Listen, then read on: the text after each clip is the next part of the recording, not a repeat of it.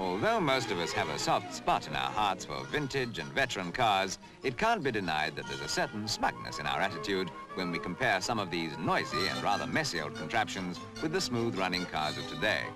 But one old car that certainly defies the general description is the 1912 Baker, because this model was an electric brougham and noiseless.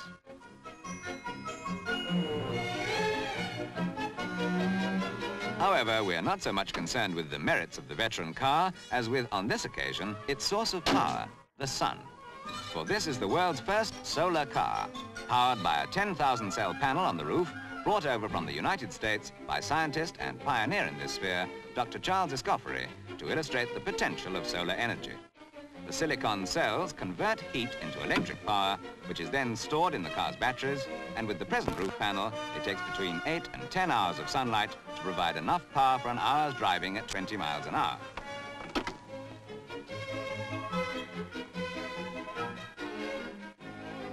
Solar cars, of course, are not yet commercially practicable, but what is important is that this vehicle uses the same type of solar cells already used in space satellites.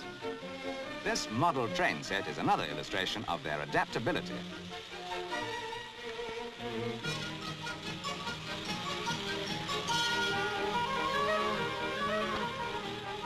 Notice that a man's shadow falling across the cells, blocking out the sun, is enough to stop the train.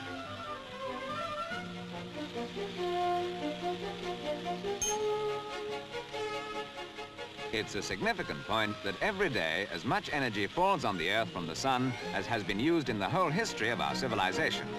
And remember, eventually, the Earth's natural resources for power, coal, oil, and uranium for atomic energy will be exhausted. Meanwhile, the scientists gain useful knowledge from gadgets like this walkie-talkie.